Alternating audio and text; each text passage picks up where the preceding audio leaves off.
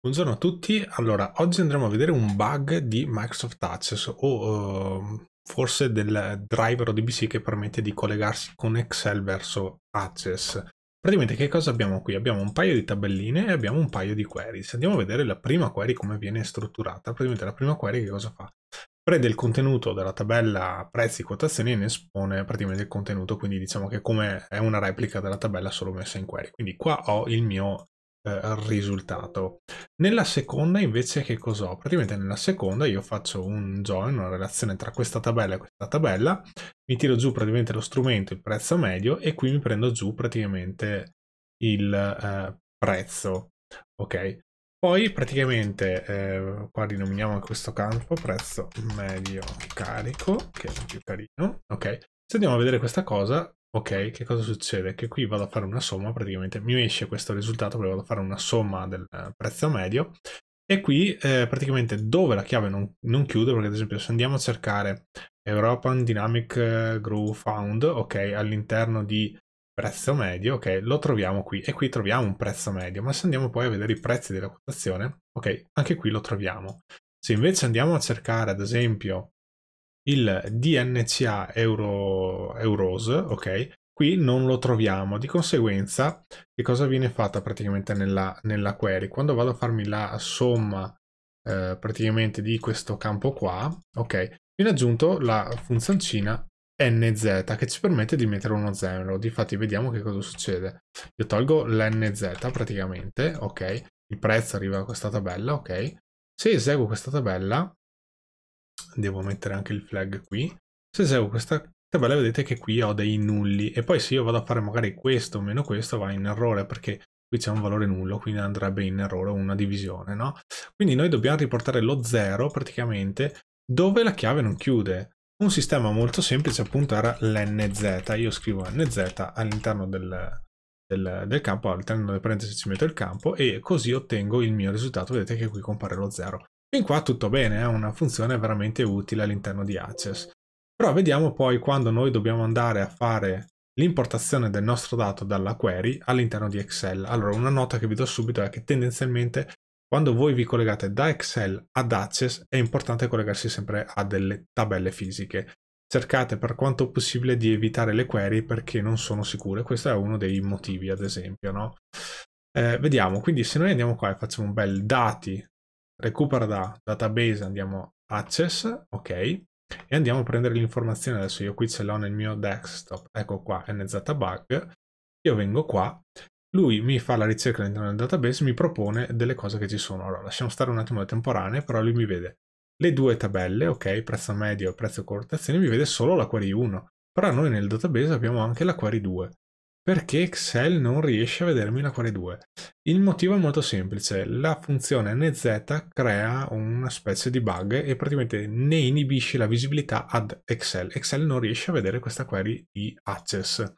Quindi come sopperire a, a questo problema? Come facciamo ad ottenere praticamente lo stesso risultato che noi vogliamo lo 0, ok? Quando la, la, la relazione non, non, non, chiude, ok? Vogliamo avere lo 0 perché vogliamo lo 0 al posto del null. Molto semplice, se eh, dobbiamo fare questa operatività va benissimo utilizzare l'NZ, ok? Utilizzatelo sempre, però se vi trovate nella condizione che per forza di cose da Excel Access vi dovete collegare a questa query che ha dentro l'NZ, ok? A questo punto conviene, allora qua rimettiamo somma, conviene andare a fare un bel eh, if.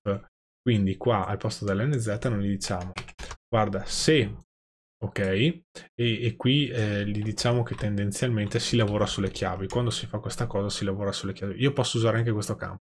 Però quando si fa questo tipo di operatività che vi faccio vedere adesso conviene sempre lavorare sulle chiavi perché noi andiamo da questa tabella a questa tabella con questo campo, quindi prendi tutti i campi di questa, tutti, da, tutti i record di questa tabella dove solo i record di questa tabella combaciano sulla chiave perché vedete che qui c'è la freccettina, quindi questo è un left join, ok, left join, tutti i record di questa e di questa mi riporti solo i record dove la chiave combacia, ok?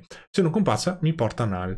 Allora io qua cosa faccio? Gli faccio un bel if, praticamente gli dico strumento, ok, is null, quindi se lo strumento è nullo, allora mi metti uno 0, altrimenti mi metti il prezzo, ok? Quindi se la chiave, se strumento e qua gli dobbiamo mettere anche il nome della tabella perché qui c'è scritto strumento e qui strumento. E lui dopo andrebbe in confusione quindi dobbiamo fare un'altra quadra. E qua mettere eh, prezzi quotazioni ok. Diamo la quadra facciamo un punto così gli diciamo nome e cognome.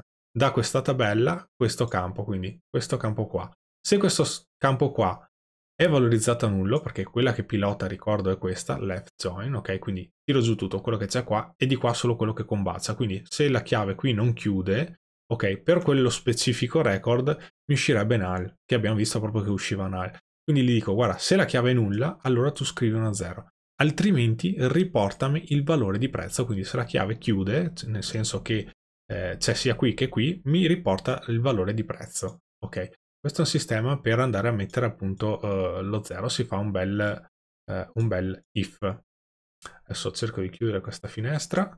Ok, quindi um, chiudiamo questa finestra e andiamo a vedere, adesso la salviamo, ok, e torniamo su Excel, quindi abbiamo fatto la funzione, vediamo anche se funziona, vedete, la, la, allora, l'if mi dà errore perché eh, qui ci vanno due i, su eh, access l'if si fa con due i, ok? Quello era l'errore che mi dava. Quindi se la rieseguiamo, ecco che adesso mi ha messo lo 0 come se avessi utilizzato la funzione nz. Ovviamente la nz è molto più rapida, ci evita di scrivere tutto l'if con la verifica del null.